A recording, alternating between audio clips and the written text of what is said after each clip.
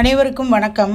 இன்றைக்கு நாம் பார்க்கக்கூடிய ரெசிபி என்னன்னா பால் கொலக்கட்டை பால் கொலக்கட்டைன்ற பேர் நீங்கள்லாம் கேள்விப்பட்டிருப்பீங்க. ஆனால் இது அந்த காலத்துலேருந்தே நாங்கள் எல்லாம் செஞ்சு சாப்பிடுவோம்.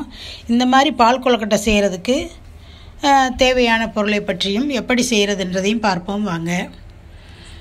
நல்ல இது ரொம்ப டேஸ்ட்டாக இருக்குங்க இந்த பால் கொழுக்கட்டை. இது காலையில் டிஃபனாக கூட சாப்பிட்லாம். நல்ல ஸ்நாக்ஸ் மாதிரியும் பிள்ளைகளுக்கு கொடுக்கலாம்.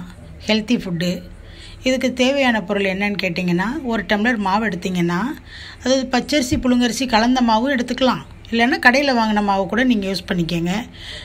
அதில் கொஞ்சம் உப்பு போட்டுக்கோங்க. போட்டுட்டு ஒரு டம்ளர் வெந்நீர் கொதிக்க வச்சு வச்சுக்கோங்க. வச்சுட்டு அந்த வெந்நீரை ஊற்றி கொஞ்சம் கொஞ்சமாக ஊற்றி அப்படியே நல்லா இருக்கல பிசைங்க. பிசையும் போது நம்ம உள்ளங்கையை வச்சு நல்லா பிசைஞ்சிங்கன்னா சாஃப்ட் ஆகும் மாவு. அந்த மாதிரி நல்லா அ, அழுத்தி பிசையணும். பிசைஞ்சா தான் நல்ல மெதுவாக இருக்கும் சாப்பிட்றதுக்கு. குழந்தைங்களுக்கு விரும்பி குழந்தைங்களும் விரும்பி சாப்பிடுவாங்க. அதனால் நல்ல ஒரு அஞ்சு நிமிஷம் பிசைஞ்சிட்டு இந்த மாதிரி சின்ன சின்ன உருண்டையாக உருட்டுங்க. உருட்டி அந்த உருண்டையில் லேசாக ஒரு ப்ரெஸ் கொடுங்க. ப்ரெஸ் பண்ணி ப்ரெஸ் பண்ணி போட்டிங்கன்னா கொஞ்சம் நல்லா வேகிறதுக்கு ஈஸியாக இருக்கும். உள்ள வரைக்கும் வேகும்.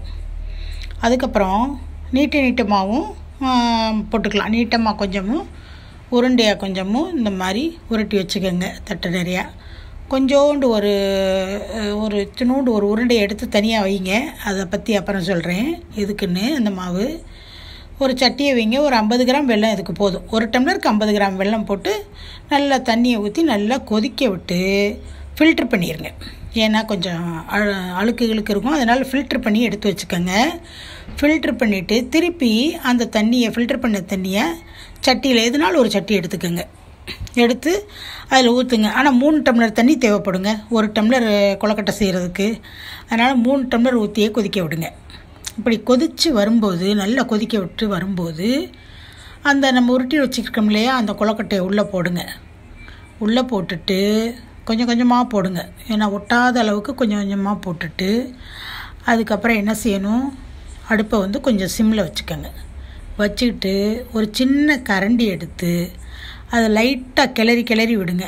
ஏன்னா கொழுக்கட்டை டக்குன்னு பிடிச்சிரும். அந்த மண்டவல்ல பாகு இருக்குது பார்த்தீங்களா அதோடு சேர்ந்து அந்த கொழுக்கட்டை அடி பிடிக்கிறதுக்கு வாய்ப்பு இருக்குது அதனால் நம்ம என்ன செய்யணும்? கொஞ்சம் கொஞ்சமாக கிளறணும். அடி பிடிச்சிருச்சுன்னா டேஸ்ட்டே மாறிடுங்க.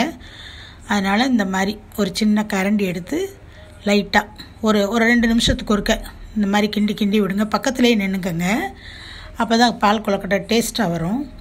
அந்த அந்த கொதி நல்லா கொதிக்கிற வரைக்கும் பக்கத்தில் தான் நிற்கணும் இந்த கொலக்கட்டை வந்து இல்லைன்னா ரப்பர் மாதிரி ஆயிரும். நம்ம பக்கத்தில் நின்று இந்த நம்ம மாவு எடுத்து வச்சுருக்கோம் பார்த்தீங்களா முடிஞ்ச அந்த கொழுக்கட்டை வெந்ததுக்கப்புறம் இந்த மாவு கொஞ்சம் எடுத்து வச்சுருந்து காமிச்சேன்ல அந்த மாவை சும்மா ஒரு ஒரு கால் டம்ளர் தண்ணி ஊற்றி நல்லா கரைச்சிக்கோங்க. கட்டி இல்லாமல் கரைச்சிட்டு கடைசியில் இந்த ஃபைனல் ஸ்டேஜ் வரும்போது நல்லா கொதித்து வத்திரும். நம்ம கெட்டியாக சாப்பிட்ற ஸ்டேஜ் வந்துடும் வந்ததுக்கப்புறம் இந்த மாவை கொஞ்சம் அதில் ஊற்றுனீங்கன்னா இன்னும் கொஞ்சம் கெட்டியாக நமக்கு கிடைக்கும்.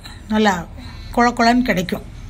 என்ன செய்யலாம்? அப்படி குழ குழன்னு கிடைக்கும்போது அதை வந்து எடுத்துட்டு நம்ம இப்போ அப்பவும் நம்ம என்ன பண்ணணும்? வேகமாக சின்ன கரண்டியை வச்சு இது மாதிரி கிண்டி கிண்டி விடுங்க.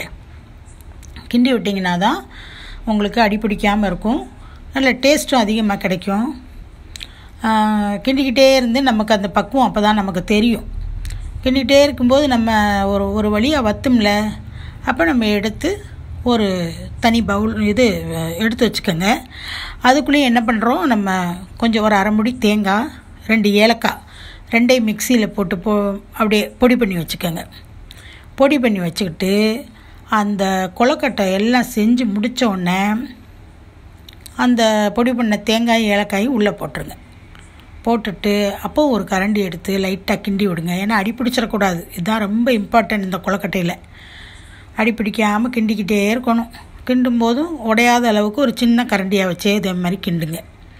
கிண்டிட்டு அதுக்கப்புறம் என்ன பண்ணுறீங்க நல்லா வெந்துருச்சான்றதை எடுத்து பார்த்தாலே நமக்கு தெரியும். தனித்தனியாக நிற்கும் நல்ல பயிர் மாதிரி தனித்தனியாக நிற்கும் இதை வந்து அப்படியே கொஞ்சம் இன்னும் ரெண்டு கிளறு இதே மாதிரி கிளறி விட்டுட்டு என்ன பண்ணுறீங்க ஒரு தனி பவுலில் எடுத்து வச்சுக்கோங்க. இந்த கொலக்கட்டை வந்து பிள்ளைங்க தினமுமே விரும்பி கேட்பாங்க பாருங்கள் இது ஒரு தடவை நீங்கள் செஞ்சு கொடுங்க. நீங்கள் வேறு ஸ்நாக்ஸே வாங்க வேண்டிய அவசியம் இருக்காது. நல்ல டேஸ்ட்டாக இருக்குங்க ஒரு அஞ்சு நிமிஷம் கழித்து பவுலில் வச்சுட்டு அஞ்சு நிமிஷம் கழித்து சாப்பிட்டு பாருங்கள் இன்னும் ருசியாக இருக்கும். மறுநாள் ஃப்ரிட்ஜில் வச்சு மறுநாள் சாப்பிட்டிங்கன்னா அதை விட ருசியாக இருக்கும்.